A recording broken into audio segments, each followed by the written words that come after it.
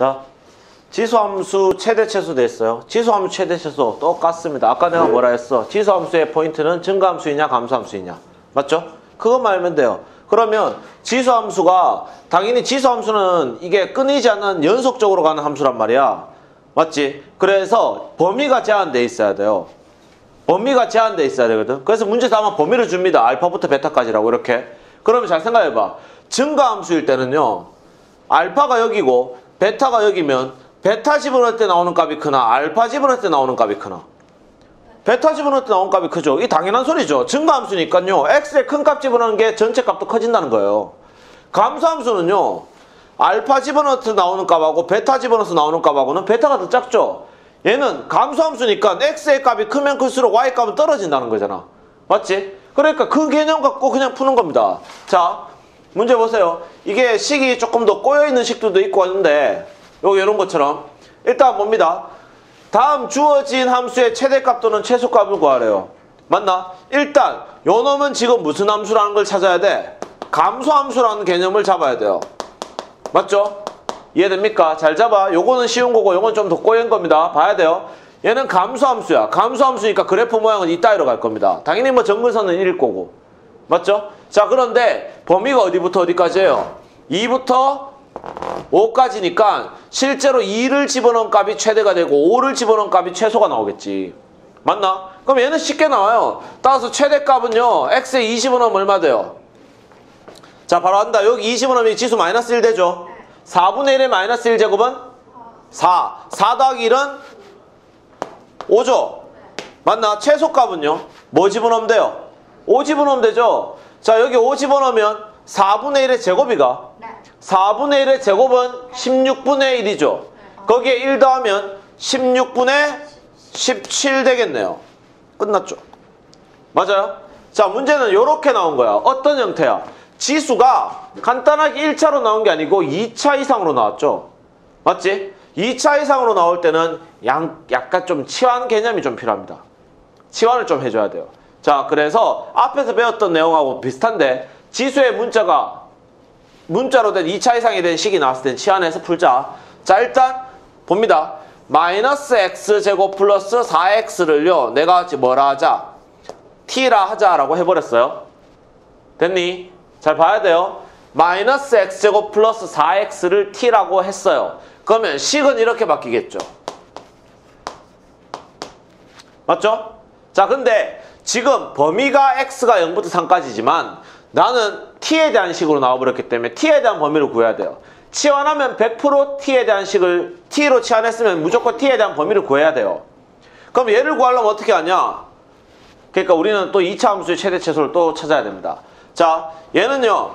마이너스 묶어내면 x제곱 마이너스 4x가 되고 플러스 4 마이너스 4 되니까 이런 식으로 나올 거예요.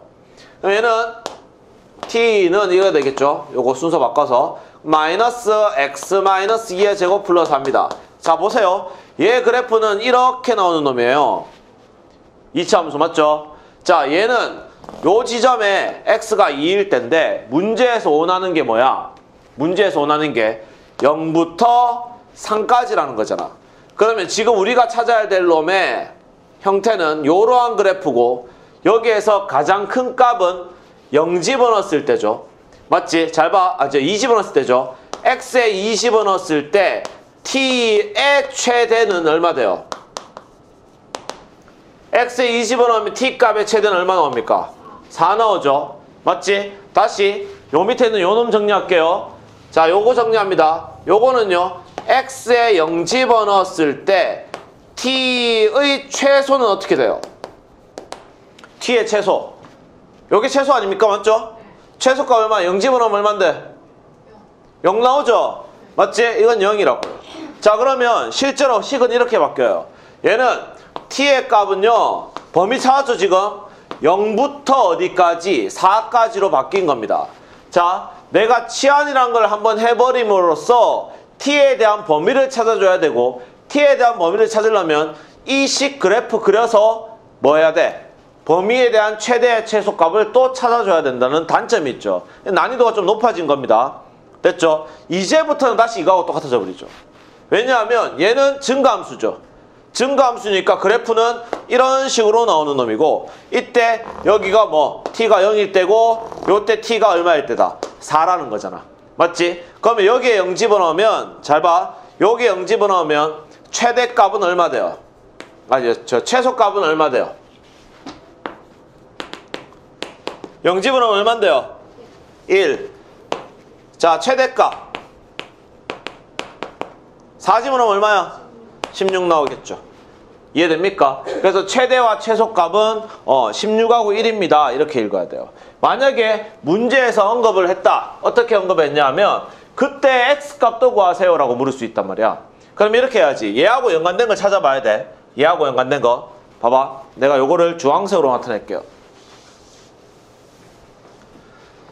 X에 4 들어갔다는 말은 t의 값이 4기 때문에 이게 t가 4라는 거잖아. x가 4가 아니고 t가 4잖아. 그래서 얘가 지금 얼마다? 최대값이 얼마? 16 나왔다며. 맞지? 그러니까 문제에서 물었다면 x가 2일 때 t는 가장 큰 값 4가 나왔고 t가 가장 클 때 로그 그러니까 미안 지수함수의 최대는 16이 된 거야. 문제에서 최대와 최소만 물었기 때문에 답은 이걸로 적어줘도 상관없지만 만약에 그때 x값을 구하라 하면 2일 때 최대 16 나오고 0일 때 최소 1이 나옵니다. 이렇게 읽어야 돼요. 알겠니? 2에서 4 넘어갔고 4에서 16 나온 거잖아. 0에서 0으로 갔고 0에서 1로 나온 거잖아. 맞지? 그러니까 이게 치환을 해버리면서 한 다리를 한 번 더 건너게 된 거거든요. 맞죠? 식이 복잡할 때는 이렇게 풀어줘야 된다. 그러니까 이런 문제하고 이런 문제 비교하면 차원이 다르죠. 자, 그 다음 182 봅니다. 계속 똑같은 형태예요. 모양이 모양이 반복되는 형태가 나왔다. 이거 우리 앞에 지수 파트에서 했었는데 모양이 반복되는 형태가 나왔다. 그러면 어떻게 하냐면 치환을 합니다. 치환을. 자, 치환 한번 해볼게요, 쌤이. 치환하면 범위 만들어주라 할 거예요, 내가 분명히. 자, 얘는요, 2의 x제곱을 제곱한 거죠. 맞지? 그럼 내가 바로 한다. 2의 x제곱을 뭐라 하면 t라고 하면 식은 이렇게 바뀌어요. t제곱 맞나, 앞에 거? 맞죠? 자, 얘는요, 요거 얼마인데요? 2의 세제곱. 8 떨어뜨려 놓으니까 빼기 8 하고 다시 한번 2의 x제곱은 t 플러스 20이 되겠죠? 맞나? 이놈의 최대값과 최소값을 구하라. 아까처럼 봐봐. x가 얼마일 때 이렇게 나올 수 있다고. 이해됩니까? 그럼 이렇게 정리해 줘야 되는데 얘는 범위를 몰라요. 내가 치환을 해버렸기 때문에 범위를 잡아줘야죠. 맞지? 자, 범위 구합니다. 치환했기 때문에 x가 지금 얼마인데요? 0부터 3까지잖아. 그럼 2의 x제곱은 얼마 돼야 돼? 여기 3집어넣으면 얼마 돼? 8 됩니까? 여기 0집어넣으면 얼마 돼요? 1이죠. 따라서 t에 대한 범위는 어디로 바뀌어요? 1부터 8까지로 바뀌어버립니다. x가 0부터 3까지였지만 치환함으로 인해서 x에 0 집어넣고 3 집어넣어 보니까 1부터 8까지로 바뀌어버렸다고요. 됐나? 그러니까 이 식에 대한 범위는 1부터 8까지다가 돼버리죠. 이해돼요? 이해됩니까? 자, 이때 이거 2차 함수죠. 또 이제 정리합니다. t-4의 제곱 플러스 4. 이 완전 제곱식 그냥 암산했습니다. 쌤이. 됐어요? 그럼 얘 그래프는 이런 식으로 나오겠네. 그럼 얘가 지금 이 범위가 얼마야? 4죠. 맞죠? 자, 이때 문제에서 원하는 거 봅니다. 문제에서 원하는 거는 범위가 어디부터? 1부터 8까지니까 1이 요 지점이라면 8은 요거보다 조금 더 멀리 있겠죠? 맞죠? 4 기준에서 본다면 그러면 이 그래프는 여기서부터 요거에 대한 요 형태만 쳐다보고 있는 거야. 맞지? 그러면 당연히 최대가 여기고 최소가 여기겠죠. 이해됩니까? 이 그래프의 가장 높은 점은 이 점이에요. 맞지? 자 그러면 천천히 생각해보자. t가 8이 나오려면 이거 지금 다 t값입니다. 이 전부 다 t값이라고 맞죠? t가 8이 나오기 위한 조건이 뭐였어? t 값이 8이 나오기 위한 조건은 x의 값이 언제일 때야? 3일 때잖아. 그래서 식은 이렇게 적은 거야. x가 3일 때 t는 뭐가 되고 8이 됐고 t가 8이 돼버리면 여기 8 집어넣으면 되죠. 이 2차 함수 안에서 최대는. 맞죠? 그러면 16 더하기 4니까 얼마 돼야 돼요? y는 20이 나온 거죠. 맞지? 근데 이게 지금 무슨 값이다? 최대 값이다 이 말이죠. 이해됩니까? 이해돼요? 아까하고 똑같은 문제예요, 실제로. 아까하고 똑같은 문제인데 아까는 지수를 치환했고 이번은 덩어리, 지수 함수 통째로 치환한 것 뿐이야. 똑같이 봅니다. 최소값은 여기죠. 이 그래프 상에서 최소값은요. 자, t가 4일 때죠. 맞지? 자, t가 4라는 말은 언제 t가 4가 나온다. 자, 생각해. 얘가 4가 나온다는 말은 얘가 4가 나온다는 말이거든. 맞죠? 얘가 4가 된다는 말은 2의 x제곱이 4가 된다는 말이잖아. 2의 x제곱이 4가 되려 그러면 x는 뭐가 돼야 돼요? 2가 돼야 되죠. 2. 맞죠? 그래서 얘는 x가 뭐일 때 2일 때 t는 4로 나올 것이고 t가 4일 때 최소값 y 값은 얼마 된다? 4가 된다는 거죠. 이해됩니까? 당연히 얘는 최소값이에요. 그래서 문제에서 원하는 거는 최소값은 x가 a일 때 b. 그러니까 2일 때 4죠. 우리 이거 중간권은 우리가 치환한 거잖아. 이건 안 나와 있잖아. 2일 때 4. 최대값은 c일 때 d 나온다. 3일 때 20 나온다는 거죠. 이해돼요? 돼? 그래서 요거 싹 다 더하면 되겠네요. 그러면 2, 4, 3, 20 더하면 되나? 맞죠? 29 이렇게 나오겠죠. 됐어요? 다 똑같은 치환입니다, 지금 형태는. 86번 봅니다. 자, 유일하게 식이 더럽게 나오는 케이스가 하나 있어요. 요겁니다, 요거. 자, 근데 요거는 내용을 한 유형으로 보시면 돼요. 유형이기 때문에 그냥 요 문제 유형 끝. 요거는 조금만 해놓으면 별 내용 없는 문제. 푸는 건 쉬워요. 푸는 건 쉬운데 보기에 좀 어렵죠. 맞지? 이걸 2의 x제곱을 t라 해놓으면 2의 마이너스 x제곱은 t분의 1이 되고 얘는 t제곱이 되고 얘는 t제곱분의 1이 되고 이거 장르에서 양쪽에 t제곱으로 뭐 곱하거나 이랬으면 4차씩 나오고 그때부터 망합니다. 그래서 어떻게 하냐면 얘를 t라 할 거예요, 쌤은. 얘를 t라 할 거거든. 그러면 얘를 정리해 줘야 되잖아. 맞죠? 맞지? 자, 정리 한번 해볼게요. 4의 x제곱 더하기 4의 마이너스 x제곱은요. 2의 2x제곱 더하기 2의 마이너스 2x제곱하고 같죠? 맞지? 얘는 2의 x제곱 더하기 2의 마이너스 x제곱의 제곱 빼기 2하고 같아요. 자, 이게 지금 뭐냐면 이겁니다.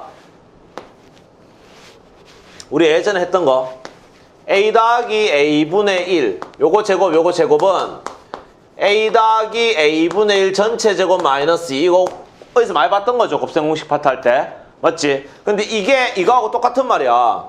왜냐하면 여기 지금 2의 x승의 제곱 더하기 2의 마이너스 x승의 제곱이거든. 요 식이 맞죠? 그러니까 여기서는 이거 한 덩어리를 a라 한 거고 이거 한 덩어리를 a분의 1로 된 거죠. 역수관계니까 그래서 요렇게 정리된 거는 a 플러스 a분의 1의 제곱 마이너스 2이기 때문에 a 플러스 a분의 1의 제곱 마이너스 2로 적어준 겁니다. 자, 요거는 초반에만 조금 잡아놓으면 쉬워요, 내용이. 됐죠? 자, 그러면 내가 2의 x제곱 플러스 2의 마이너스 x제곱을 t라 한다 했잖아. 그럼 이 식은 뭐로 바뀌어요? t제곱 마이너스 2로 바뀝니다. 맞나요? 맞지? 다시 얘가 지금 뭘로 바뀌었다? t제곱 마이너스 2로 바뀌었다고요. 그러면 식 바꿔야 되죠. 쌤, 치안 다 끝났으니까 식 바꾸면요. y는 t제곱 마이너스 2에 플러스 6t가 돼버려요. 맞나? 자, 정리합시다. t제곱 마, 플러스 6t 마, 마이너스 2가 되는데 문제는 뭐가 필요하다는 거? 범위가 필요하다는 거. 맞죠? 이해됩니까? 여기에서 최소값을 갖는다 했으니까 범위를 알아야 되겠죠. 자, 일단 t에 대한 범위를 구하려면 치안에는 놈을 잘 생각해야 돼요. 얘를 내가 뭐라 했어요? t라 했잖아. 맞지? 근데 요 놈은 산술기하 평균을 쓸 수 있습니다. 산술기하 평균 쓰면요. 보세요. 그냥 이거 나중에 외우면 자동이야. 네, 외우면. 얘는 산술기하 평균은 2 루트 1이죠. 얘들 들이 곱하면 1 되는 거 맞나요? 역수관계니까. 산술기하 평균은 2 루트 두 개 곱한 거 안에 집어넣어야 되지. 맞지? 근데 두 개 곱한 게 1이니까 안에 1이죠. 결론적으로 얘는 무조건 뭐보다 크거나 같다. 2보다 크거나 같다죠. 근데 내가 지금 뭘로 치환해버렸거든, 얘를? t로 치환해버렸거든. 따라서 t는 무조건 뭐보다 크거나 같다. 2보다 크거나 같다로 돼버려. 그래서 이 식은요, 전제 조건이 t가 2보다 크거나 같다로 바뀌어버립니다. 치환을 하게 되면 무조건 식을 간단히 만들어야 돼요. 그럼 애들이 얘기하죠. 치환 안 하고는 못 풉니까? 못 풀 겁니다. 알겠어요? 그래서 치환을 무조건 하셔야 돼요. 얘는 완전 제곱식 만들면 t 플러스 3의 제곱 마이너스 11 이렇게 되거든요. 됐나요? 그럼 얘 그래프는 이렇게 나오겠네. 얘가 지금 언제? t가 언제일 때야? 마이너스 3일 때지.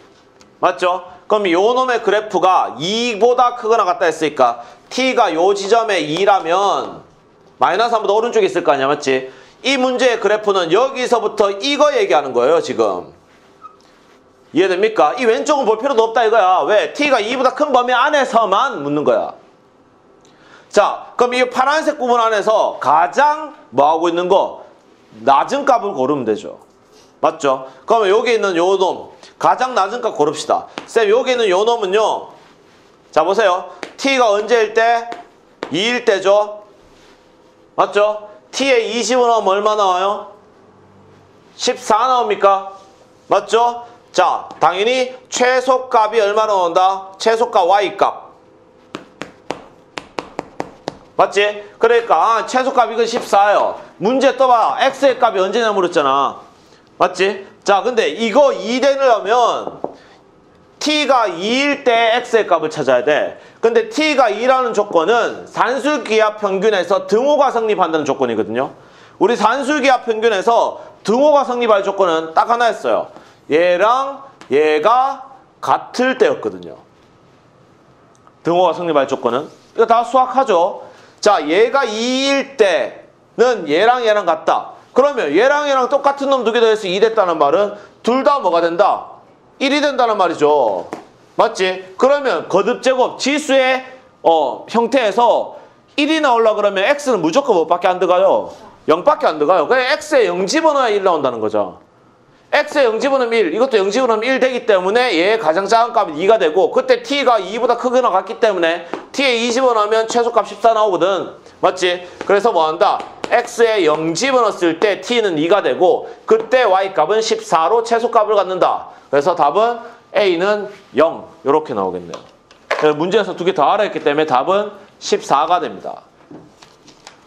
되겠습니까? 되고 있어요.